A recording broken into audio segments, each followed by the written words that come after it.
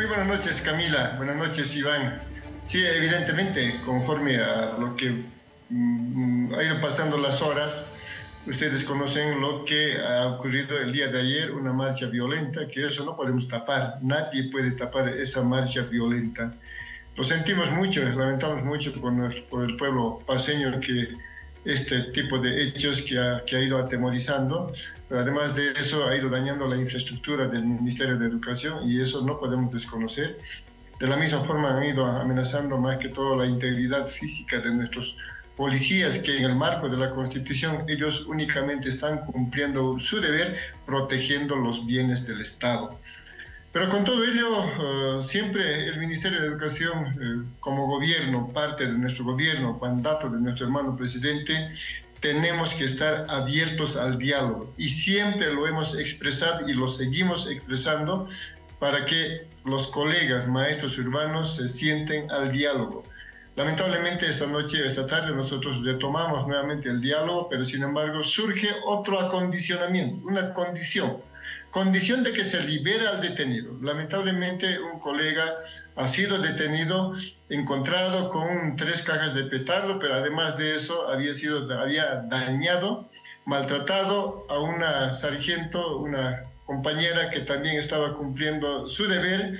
Lamentablemente ha sido apuntado de manera directa y fue quemado y tienen quemaduras eh, en el brazo y seguramente por todo ello el colega ha sido detenido y está siendo detenido. Y la condición es de que podamos nosotros ordenar la liberación. Nosotros no tenemos la tuición como Ministerio de Educación para ordenar que se libere al detenido, porque hay instancias que corresponden y sobre esa base es lo que se tiene que enmarcar.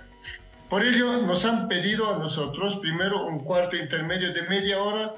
Cuando nos pidieron información del colega, nosotros hemos, eh, hemos eh, accedido, hemos, eh, hemos solicitado la información a la policía, nos han dado toda la información, el detalle, y con esa información subimos, que era la primera condición. Y cuando ya subimos nos hacen conocer, no, ahora la condición es de que liberación o nada. Entonces aquí estamos jugando. No hay garantía para poder sentarnos a dialogar con garantía para poder llegar, a analizar y llegar a conclusiones. Lamentablemente eso es lo que ha pasado.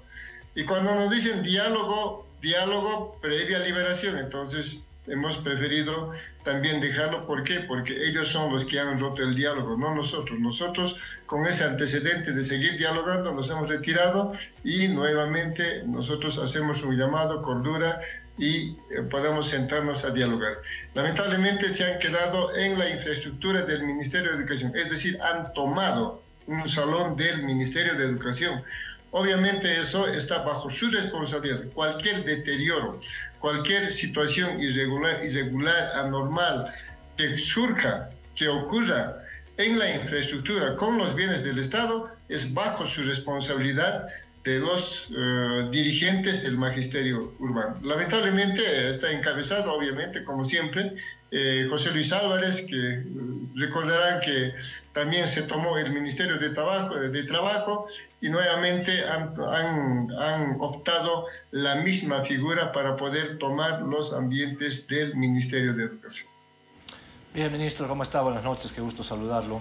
Buenas noches, Iván. Eh, cuando se habla de un diálogo, indudablemente el tema más importante es encontrar las coincidencias eh, para buscar la solución definitiva.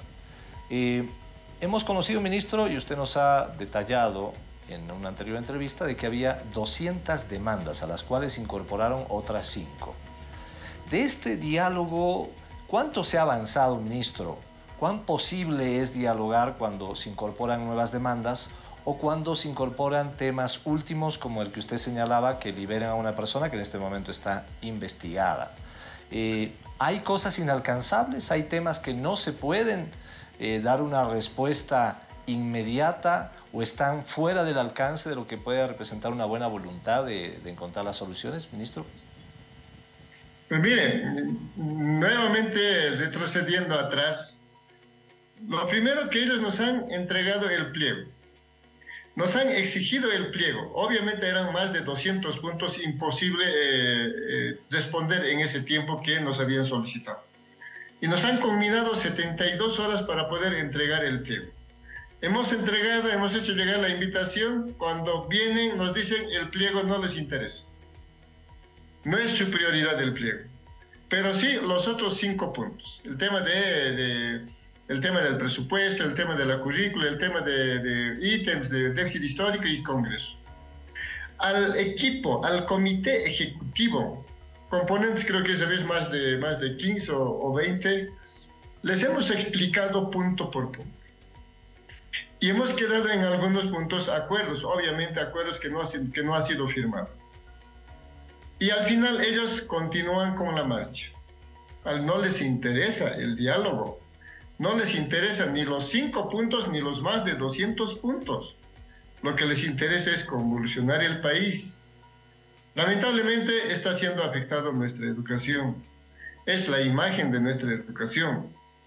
Y creo que es importante más que todos los colegas vayan reflexionando y trabajemos y nos sentemos.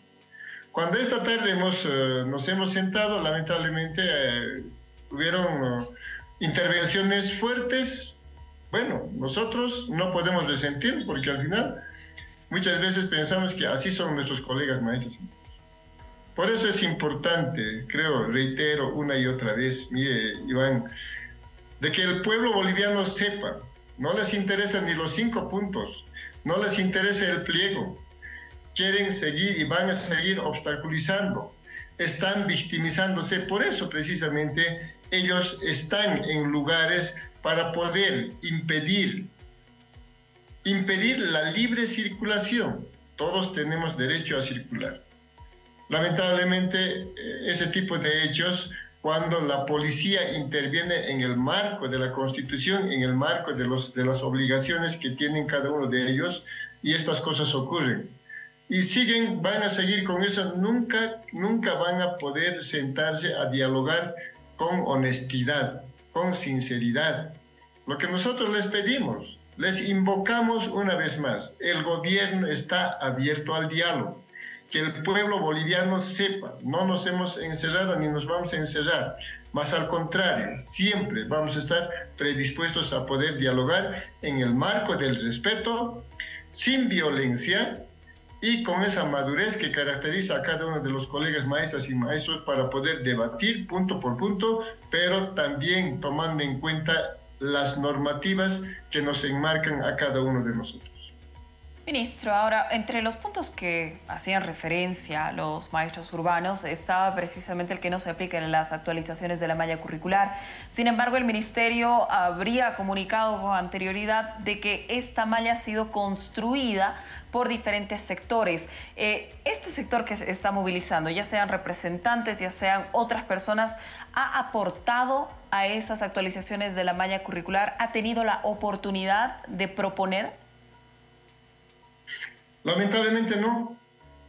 Cuando empezamos el debate de la construcción, de la revisión, el análisis, reflexión de estos contenidos curriculares en el mes de junio de la gestión 2022, no se hicieron presentes al margen de las invitaciones cursadas. Son tres invitaciones que hemos cursado para que vengan y propongan, analicen, participen en el debate. Esos espacios ha empezado a partir del mes de febrero, marzo, abril, perdón, eh, eh, junio, julio, agosto, y donde participaron diferentes sectores sociales. Participaron nuestras instituciones públicas, privadas, la universidad, nuestra junta de padres y madres de familia, nuestros, nuestros jóvenes del nivel secundario, nuestros colegas maestras y maestros de base inicial, primario, secundario. Lamentablemente la parte sindical no se hizo presente. Ahora, cuando termina, cuando se aprueba, ahora rechazan la malla curricular, la malla curricular o los contenidos curriculares. Entonces, ellos nunca han estado de acuerdo, siempre han estado pensando en convulsionar como ellos lo han dicho, lo han expresado personalmente, no me estoy inventando. Ellos lo dijeron públicamente, que van a convulsionar el país, ahora lo están haciendo, están cumpliendo y eso el pueblo boliviano lo ve. Eso significa de que están con otros fines, son fines eminentemente políticos. Lamentablemente estamos en esa, en esa dinámica que no podemos salir solo, solo por caprichos de algunos dirigentes que están eh, a la cabeza de este movimiento que en este momento estamos viviendo. Por eso, reitero, lamentablemente la parte sindical no estuvo presente y la parte sindical hoy, hoy exige que solamente con la parte sindical, CTV y Ministerio de Educación, sentemos, debatamos y definamos el destino de la educación de nuestro país, cosa que eso es imposible. La educación tenemos que debatir en el marco del artículo 92 de la ley 070, que eso de manera con carácter preparatoria entre todos los actores sociales. No podemos desconocer a la a los maestros rurales, no podemos desconocer a los, a los padres y madres de familia, a nuestras instituciones, organizaciones sociales, nuestros estudiantes, los colegas maestras y maestros de base. Y todos ellos tienen el derecho y la obligación de poder discutir, debatir, analizar y definir el, el destino de la educación de nuestro país. No solamente, reitero, no es únicamente con la CTV y el Ministerio de Educación que sí es un tema un poco más complejo y además de plural. Eh, ministro, para cerrar, por favor, usted nos indicaba de que todavía el Ministerio de Educación permanece abierto al diálogo. ¿Se ha establecido una fecha de invitación para los dirigentes de la CTV? No, no, no, no. Lamentablemente están encerrados en su condicionamiento. Ellos no dan ni fecha ni hora. Ellos en este momento están en ambientes del Ministerio de Educación, en el Salón Paya. Ellos han, han tomado el salón, ahí se han quedado y por eso estamos denunciando públicamente cualquier situación anormal que ocurra con la infraestructura, con el equipamiento, que son bienes del Estado, es única y exclusiva responsabilidad de la CTV y todos quienes están allá adentro.